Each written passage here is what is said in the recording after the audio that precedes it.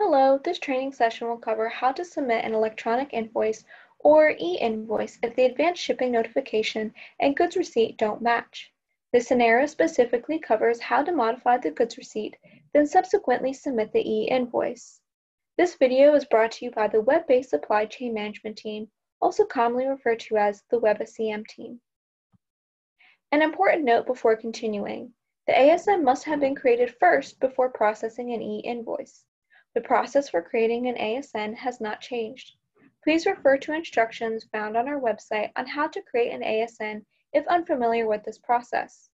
You can find instructions by navigating to https forward slash forward slash www.ams.usda.gov forward slash selling dash food forward slash WBSCM. After creating the ASN and once the product has been delivered, the recipient will create the goods receipt. When the goods receipt has been entered, if there are discrepancies between the ASN and the GR, an email notification will be sent to the vendor. Discrepancies include the quantity not matching or the product being delivered past the no later than delivery window. Examples of where a GR modification is eligible are as such.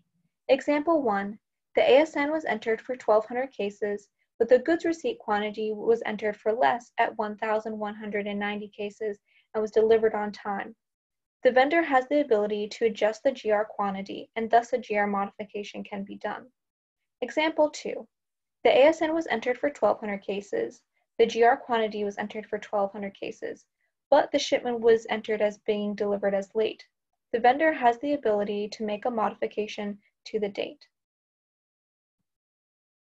The email notification about the discrepancy between the goods receipt and the ASN gets sent, gets sent to those with the following roles assigned to them in WebSCM ASN dispatcher, invoice processor, and corporate vendor administrator. As you can see in this example, the email will include a message stating, please note the following discrepancy between the ASN and the shipment receipt. Please confirm or upload proof of delivery to support data on the ASN. The email specifically provides additional information.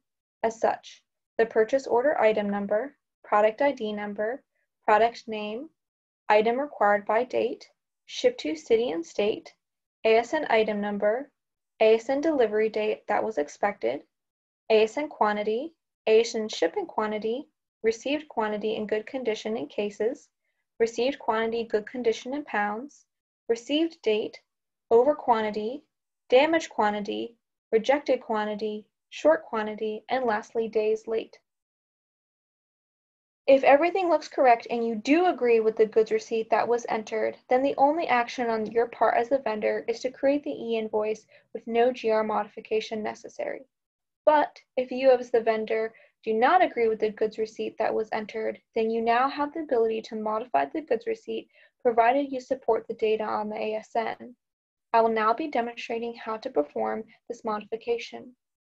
I will move from my PowerPoint presentation to WebSCM to demonstrate how to modify a goods receipt and submit an e-invoice. Log into WebSCM as you normally would and follow the portal path, Suppliers, Supplier Self-Service, then e-invoices for processing. To make my view larger, I'm going to select Full Screen, which is a button found on the right-hand side. From here, you have the ability to search by several criteria, including the ASN number, purchase order number with the line item number, shipment status, and receipt status. In this example, we will search by the purchase order number, and I will enter in the purchase order number of 4100005758. Once you've entered in your number, scroll to the bottom and hit search. We are now on the Work List tab. Highlight the line item, line item number that you want to review. In this example, we will be using line item 12. Highlight the row by selecting the gray box to the left. To review the data, simply scroll to the right to display the additional information. In this example, we will compare the dates and the quantities. Under the PO required date, you can see that the date was October 31st and the date that it was received was September 13th. well before the PO required date, so no liquidated damages were applied. As you can see, the quantity that was shipped was 1,530 cases, but the delivered quantity was less at only 1,400 cases, making it a short quantity of 130 cases. If you as the vendor do not agree with this and you want to change the, the goods receipt to the full 1,530 cases, you can now do so. Scroll back over to the right, to the left, uh, and then scroll to the bottom and select Display Receipt. This will bring the shipment receipt page. From here, check the box under the column Further Actions. Then select Modify Receipt. The fields that can be updated include the signed by name, the date received, and the good quantity in cases along with rejected quantity. In this example, we will specifically be updating the good quantity in cases. Simply enter in the correct or the new number.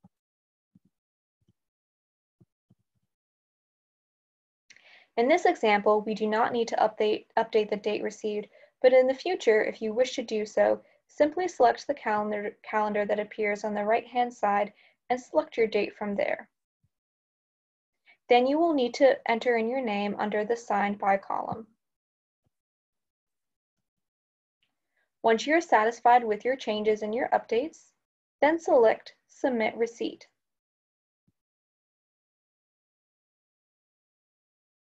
Once you've done that and you scroll up, you can see a green checkbox that has says that your goods receipt was successfully processed. You now want to return to the Work List tab. From here, you want to leave your line item still highlighted. Then you want to select Further Actions. You will be taken to a new tab titled Additional Details with a subtab Vendor Shipments. From here, you want to select the checkbox under the column Process Further. Once you've done so, then you want to select, select Add Attachments. And here you will add any attachments to support your modification that you made to the goods receipt, to show the proof of delivery, and to attach any other mandatory documents. Once you've selected Add Attachments, scroll to the bottom. A list of mandatory attachments that are required for this line item number and this material will be listed on the left-hand side. On the right-hand side will be the attachment types listed. And from here, this is where you will enter in and upload your attachments. Simply click and highlight the type of attachment you wish to upload. Once you've done so, select Browse. From here, you then will select your document you wish to upload, and then click on Open. Once you've done that, then you must select Add Attachment. If you scroll to the top, you will see a green checkbox saying that your attachment was uploaded. PDFs, Word documents, and Excel documents can all be uploaded as a type of attachment. You can repeat this process as necessary for all the attachments that you need to upload for this line item number. Once you're done with all your attachments, select the Done button which is found in the center of the page. You will now be returned to the Additional Details tab with the sub-tab Vendor Shipments. If not already done so, make sure the checkbox under Process Further is still checked. You now have the ability to enter in the vendor reference number. This is simply an internal company invoice number, but this is an optional field and is not required. The next item is the certification question. Certification questions are required and must be answered. If, if the certification question is entered as no, USDA will automatically have to review your goods receipt and your, and your e-invoice.